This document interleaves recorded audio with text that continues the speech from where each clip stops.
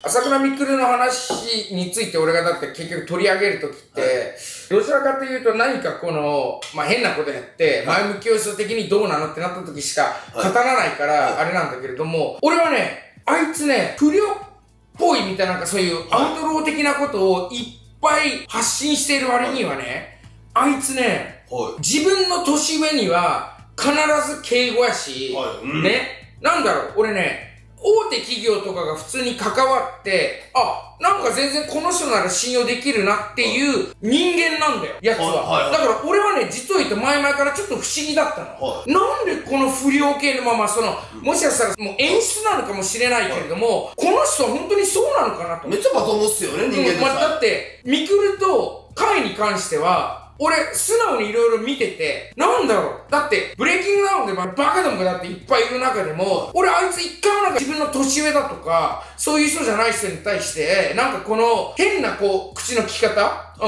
ん。まあまあ、それは俺はもしかしたらちゃんとした人間と思われてないかもしれないけれども、一応俺は結構このマインド系、どうやって生きていくかっていうことを発信してる。はい、俺は、俺悪いけれども、俺別に年上だろうが何だろうが、俺、礼儀を反することは多々あるよ。はい、俺でも。でも、奴からは実は俺、一回も見たことない。なので、そういうところは、なんか、そういうやつだからこそ、ああいう売れ方をしても、売り方をしても、なんか今まで、安定感あって、売れてこれたのかなって思う。もしこれがブレイキングダウンのような連中とかだったら、どこかで空中分解してると思うんだよ。バカだから。変なことしたり。だからなんか、そういうところがあるから。魅力ある。だから魅力ある。人間性が好きやもん。そこはね、あの、素直に言うわ。本当にそう思う。お前が朝倉未来を好きって言ってるのは俺ビジネスだと思うけれども、本当にそこは思うよ。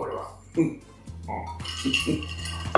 最後にもそれ言ってくるか。まあでも、なんか神からの視点やけど、うん、上からですけど、朝倉未来を褒めてたのはちょっとグッときました。本気でそう思うもん。うん。マネさんも学ばないとね、朝倉未来で、そんな偉偉そうに横柄な態度どんどん取り出してるけど、なおさんとね、その辺のね。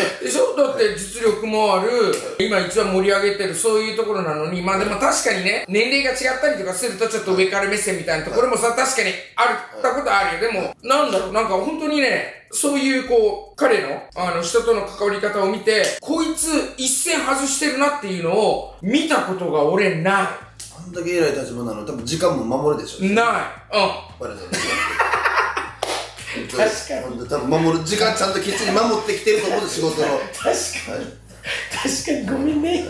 本当バイさん、直した方がいいです朝倉未来を見習って。今日はちゃんと来たも本当ちょっと前に来た時だけ一時僕にマウントで俺スマホもうついてるからなみたいな。早く来いみたいないつも裏切ってくるくせに。分かんないよ、まあ、朝倉未来だってさ自分のメンツたちにそうやって言ってるかもしれないんだよそんななんでなんで分かるんだよ。なんで分かるんだよ。あんな人気出てるしやっぱりねみんなに後輩にも優しい。マジで。俺俺も優しいよ。